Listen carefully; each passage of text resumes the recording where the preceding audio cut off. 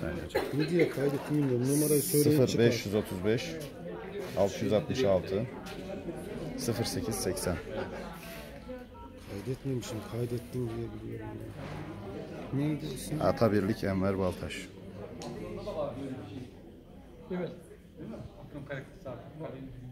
Siz beni bir çaldırın ben de sizi kaydedeyim. Sivrihisar'ın Kaç yıllık? 8. 800 yıllık. Selçuklu döneminden kalma. 1200.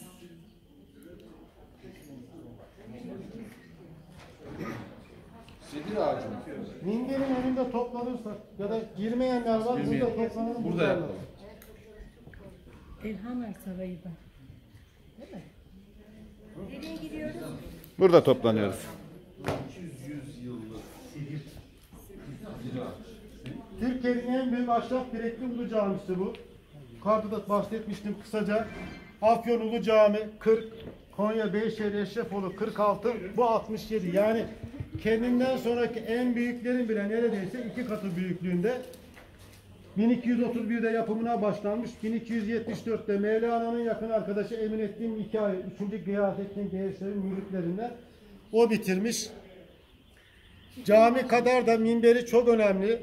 Çünkü etnografya müzesinde koruma altına alınmış minberlerden daha sağlam durumda. Ustası Orafanlı İbni Mehmet döneminin önemli ustası zaten.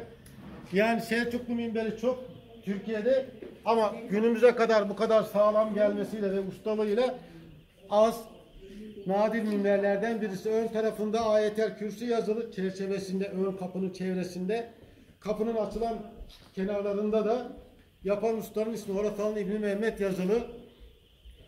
Ee, 67 direkt 63 bir rivayete göre peygamberin ölüm yaşı artı 4 4 halifeyi temsil eder. Çatısında 950 döşeme o da Nuh Aleyhisselam'ın ölüm yaşını ifade ettiğini söyleniyor. Onlar bir rivayet ama gerçek olan minberdeki 8 köşeli yıldız ve 67 direkten sadece 8 tanesinden motif olması 8 Selçuklu yıldızını ifade eder.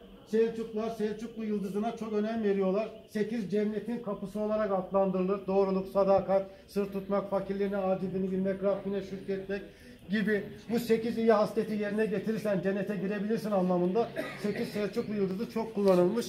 O 8 motifte ondan yapılmış. Çatısında deve kuşu yumurtaları örümcek gelmesin diye tabanında bütün ahşap direkli camilerin tabanında 1, 2, 1,5 metre neyse boşluk olur mutlaka. Hatta caminin tam ortasında karlık denilen bölüm olur. Oraya kar doldurulduğu için.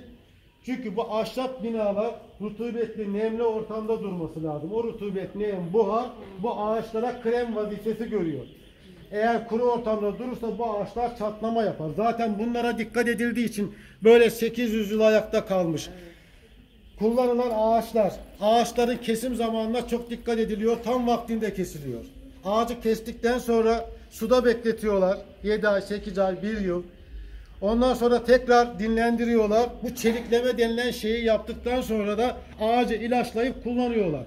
Bütün bunlara dikkat edildiği için de işte bu ağaçlar 800 yıl ayakta kalıyor. Şimdi gidin binalara bakın ağaç keyam olmuştur ya çatlamıştır. Çünkü ne kesme vaktine dikkat ederler ne bu işlemlere. Ayrıca da o çok budaklı olan ağaçlar dünyanın en sağlam ağaçlarından biri olan ardıç ağacı. Ee, ardış çok güçlü dayanıklı. Binayı, bu binayı taşıyan ağaç ardıç ağacı. Sarıçam güçlü değil. Bu düzgün olanlar da sarıçam. Yani ardıç kadar güçlü değil. Sarıçam da güçlü.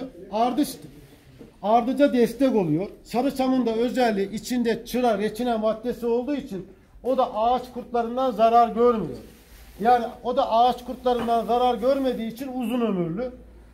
Dolayısıyla her konuya dikkat edilmiş. Bu ağaçlar böyle bu şekilde hem minber hem cami künde hali geçme tekniğiyle yapılmış çivi kullanılmadan. Karşılıklı iki kapı var. Kalabalık günlerde, cumalarda, cenazelerde, bayramlarda erkekler rahatça giriş yapabilsin diye. En güzeli de şu kadınlar bölümündeki kapı. Bu kadınlar bölümünün tam ortasında sokağa açılan bir kapı var. Bakın alt katada üst katada kadınlar oradan giriş yaptığında kendi bölümüne hiç erkeklerle alakası olmadan geçiş yapabilirler. Bu cami bundan 3 yıl öncesine kadar Dört bir tarafında iş yerleri var. Ne gezdiğimiz Alemşah Kümbeti ne cami iş yerlerinden, dükkanlardan görünmüyordu. O iş yerleri kaldırıldı. Dört bir taraftan görünür hale geldi. Restore edildi. Restore esnasında bakın bu ağaçlar zımparalandığı için size yeni gibi gözüküyor. Aslında 800 yıllıktır. Öğrenciler falan bunları sildiler, zımparaladılar. Onun için parlak ve yeni görünüyor. Bu işlemlerden sonra da UNESCO'ya müracaat edildi. Şu anda UNESCO geçici miras listesinde bu cami.